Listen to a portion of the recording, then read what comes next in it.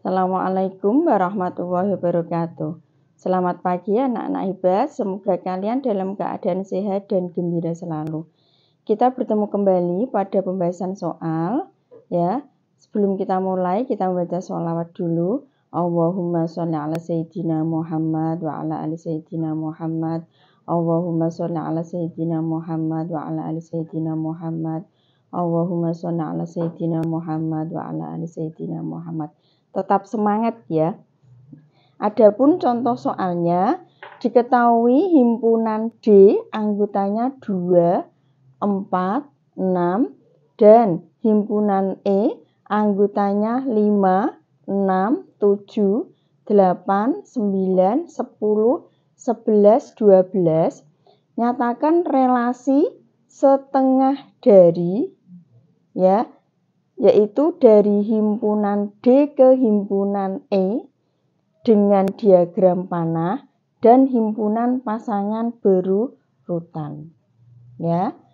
Nah, dari himpunan D ke himpunan E ya, kita tulis dulu ya. Ini yang diagram panah kita jawab. Himpunan D anggotanya berapa? 2 4, 6 ya. Ini dikasih nokta. Kemudian himpunan E ini himpunan E anggotanya 5 6 7 8 9 10 11 12 ya yang diminta relasinya apa? Ya, relasinya adalah setengah dari ya. Ini nanti kalian membacanya harus hati-hati ya. Dua setengah dari berapa? Ada di sini. Kalau misalnya dua setengah dari lima. Betul tidak? Ya, tidak, tidak betul ya. Yang betul adalah dua setengah dari empat. Nah, di sini empat tidak ada. Ya, jadi dua itu tidak mempunyai pasangan. Paham ya? Seharusnya dua setengah dari empat. Empat di sini tidak ada. Berarti dua tidak punya pasangan.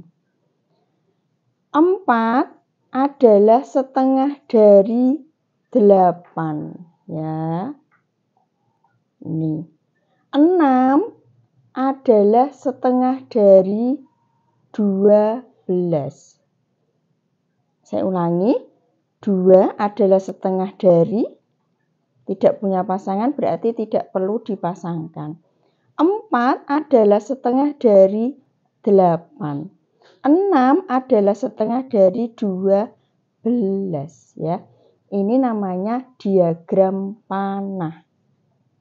Ya, ini saya singgung sedikit ya. Pada diagram panah ya, ini himpunan E merupakan daerah domain atau daerah asal ya. Himpunan E itu disebut dengan daerah kawan. Ya, himpunan E daerah kawan. Sedangkan yang dipasangkan dengan D atau daerah asal yaitu 8 dan 12 itu adalah daerah hasil atau range ya, range tulisannya. Nah, yang B yang diminta adalah himpunan pasangan berurutan. Sama dengan ini tanda dari himpunan. Tadi 4 dipasangkan dengan 8, berarti 4,8. Ya. 6 dipasangkan dengan 12, berarti 6,12. Ya. Karena hanya ini, ya sudah jawabannya ini. Ya. Bisa dipahami ya. Nah, semoga bermanfaat. Silakan di like, di subscribe, dan dibagikan. Cita-cita kalian tercapai, go internasional, dan sukses selalu. Assalamualaikum warahmatullahi wabarakatuh.